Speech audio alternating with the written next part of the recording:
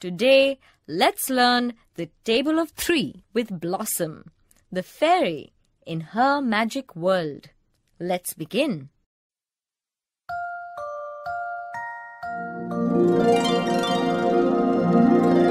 Once three is three, two threes are six, three threes